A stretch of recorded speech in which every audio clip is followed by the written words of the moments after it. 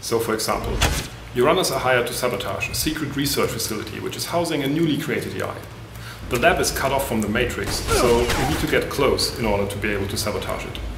Your legwork told you of an old sewer entry that is connected to the lab facility. And better legwork would have told you that the sewer is filled with toxic sludge, which would have been good to know in advance. Unfortunately, as you arrive there, a gang raid took place and security has sealed off the whole area. So you need to fight your way in and then find a way to actually get to the sewer access gate. Then, when you get in, you find another runner team has made it here before you, so now it's a race. Hmm.